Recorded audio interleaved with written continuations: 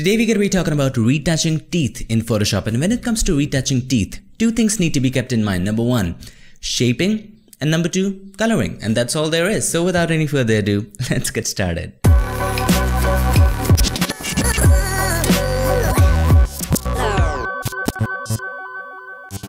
So here we are in Photoshop and if you want to go ahead and follow along using this photo, make sure to go ahead and download it using the links in the description. Alright, if you look at her teeth, it needs a little bit of shaping. So how do we correct that? Liquify, as you guessed it right. Again, two things, shaping and coloring. First, shape it. So first of all, press Ctrl or Command J. Make a copy of the background layer. You don't want to do it in the background layer, okay? Control or Command J. Next, there are two approaches to applying Liquify. You can convert this into a smart object and if you do that, you will be able to change the values later or you can directly do it. If you directly do it, you can also select the rectangular marquee tool and select this area, just this area and open up Liquify filter, Liquify. Now what is the advantage of this? It opens up just that area. Apart from that, it is faster. It is much faster than applying it to the whole image. So that's the advantage. But if you do convert it into a smart object, you won't be able to do it. All right. You will be able to do it, but it's a different way. All right. Let's convert this into a smart object by going to filter, convert for smart filters, click OK. And then if you select the rectangular marquee tool, go to filter, liquify, it opens up the whole photo but you can actually just edit just that area. But the advantage is you can change the values after the fact and if for you the advantages far overrides the disadvantages please go for it and convert it into a smart object. Alright let's go ahead and cancel that and we don't need it let's directly go to filter and then liquify and then let's zoom in and just play with the teeth and correct it. Okay, now, once zoomed in, select the forward warp tool. Okay, this is the forward warp tool, the shortcut to which is W and slowly nudge it.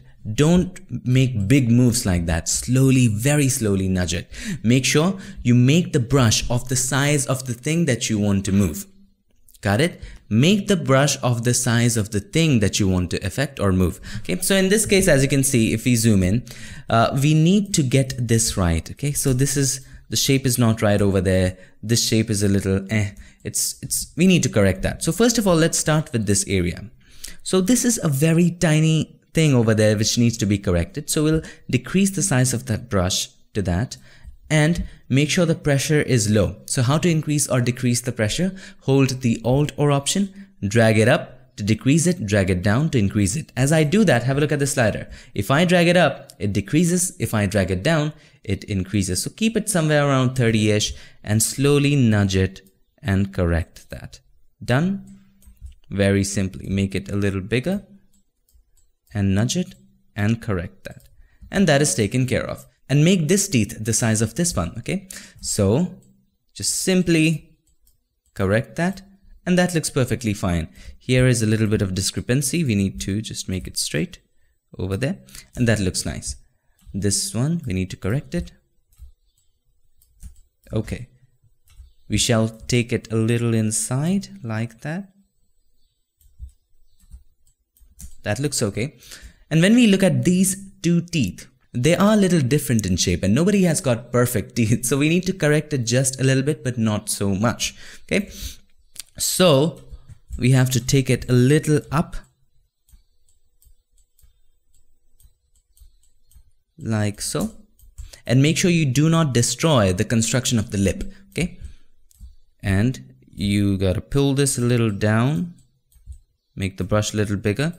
Always remember make the brush of the size of the thing that you want to move. Alright so now the size of the teeth. This one is a little small. I mean a little narrow so we'll make it a little wide like that. And this one is a little short, so we'll make it a little tall. Bring it in line with this one. Make sure to not affect the lip so much. Okay, so that's pretty much done I guess. If I go ahead and zoom out and have a look at the before and after, so this is the before, this is the after, just a little bit of correction.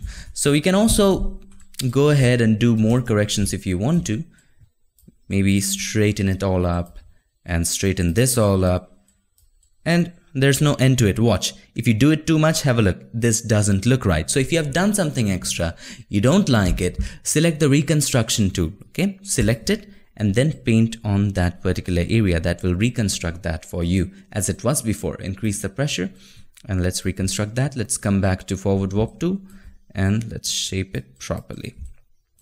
Put it in this one. Alright, now once you're satisfied with this, I think there's a little bit of problem over here. It doesn't look right over there. So we'll just fix it right like that. Okay, and push it a little inside. Push this a little in. Okay, now have a look at the before and after. So this is the before. Check off the preview and this is the after. Looks straight, looks nice. You can just always make more adjustments if you want to and bring it bring everything in line. Like totally perfect. And once you have done all of that I insist you I implore you that you do this. Drag down and there's a button over there called reconstruct. Sometimes we go a little overboard. So click on reconstruct. When the amount is at 100 this is all you did. Liquify to the maximum. When the amount is zero it reverts back to its original shape. So it's like undo on a slider okay total undo of everything that you have done. So you can always reduce it if you think you have done so much. So we can reduce it if we want to, but I think for us 100 is fine, but you can always try the slider before hitting OK. Alright, hit OK, hit OK again and finalize on this one. Mind you, this is a smart object. If you want to change anything at any point of time later, you can always go ahead and double click on Liquify and change that as well. Okay, just like that and change these values. Hit cancel and that's pretty much fine. Now it's time for us to color it right. If you look at the teeth, it's pretty much white. It's pretty much good, right?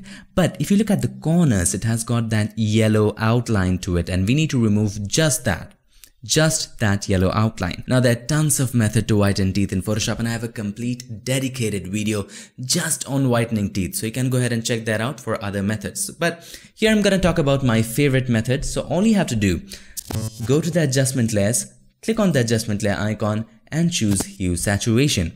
And we will target just this color. How to target that? Click on the hand icon and just click on one of those yellows and fine. It shows us reds because it's close to reds, but we're going to modify that. Take the hue all the way to the left or right just for identification purposes. Increase the saturation. This is also just for identification purposes. Make this narrow by holding the end sliders and make it very narrow just like that. The top bar is the whole color spectrum of the image.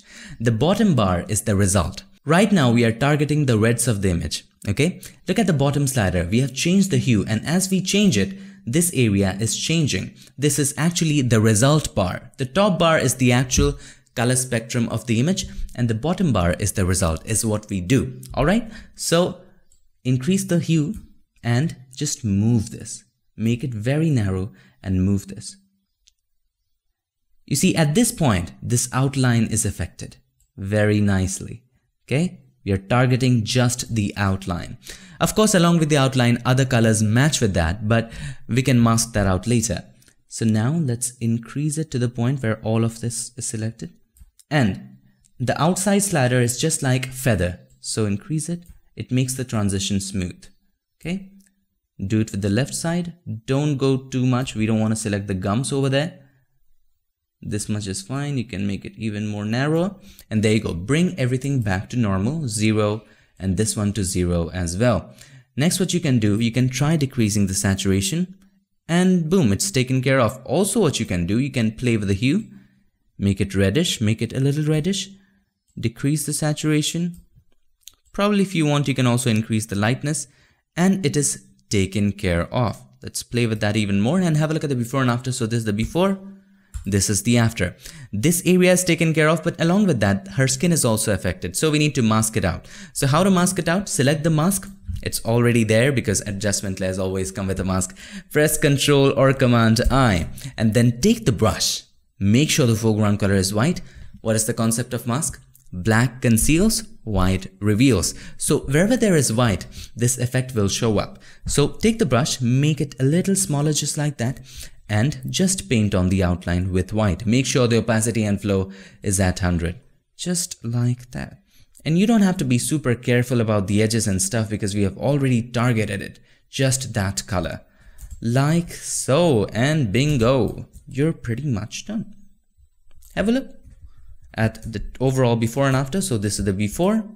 This is the after. Let's zoom in quite a bit and have a clearer look. So this is of course the after and this is the before after makes a drastic difference. Now sometimes you might have to combine with this dodging and burning and probably cloning but not all the time.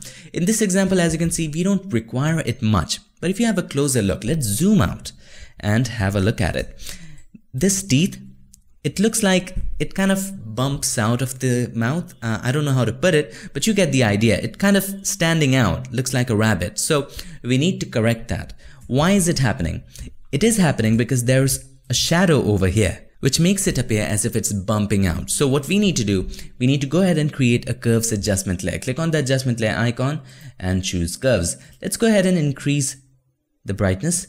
Click on the middle, just take it up like that and select the mask, press Ctrl or Command I and zoom in and you know what to do just take the brush and with white paint on the shadow this time decrease the flow to somewhere around 5% and slowly and gradually Probably I'll go with 3 and paint on this particular area like that with white.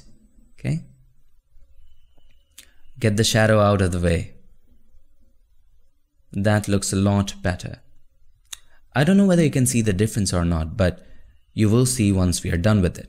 Okay, we painted a little extra over there. Press X to toggle between the foreground and the background and this time increase the flow to 100 and just take away this particular area and that's pretty much fine.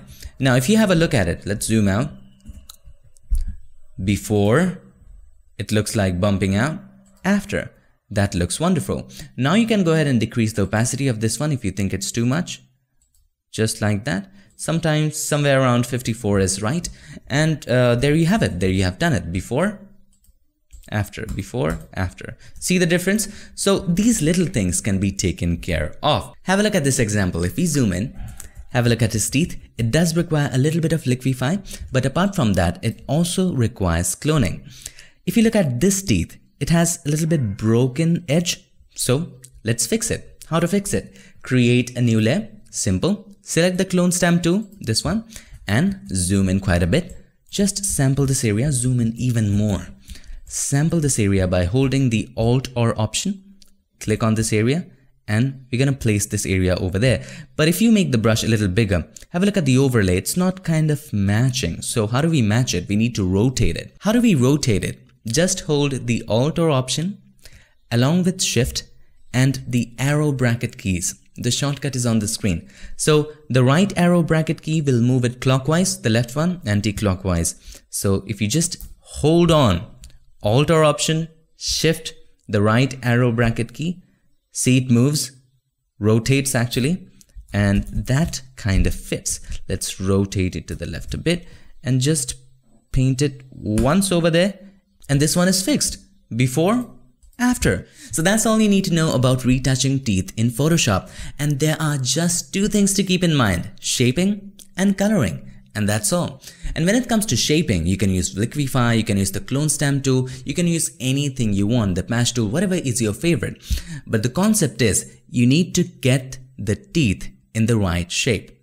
After you do that, coloring. So it's not just yellow, it's not limited to just yellow. Even if there's any other color cast like blue or say purple, you can also remove that.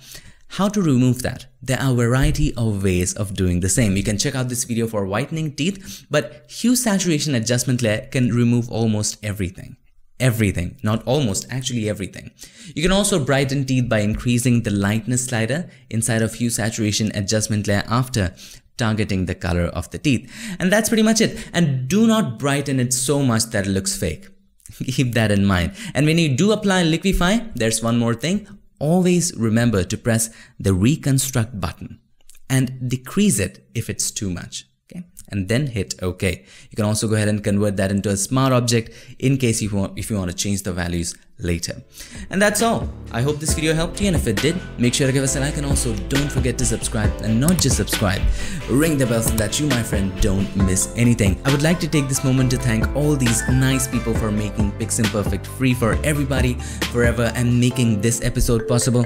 Thank you so much for watching. I'll see you guys in my next one. Till then, stay tuned and make sure that you keep creating.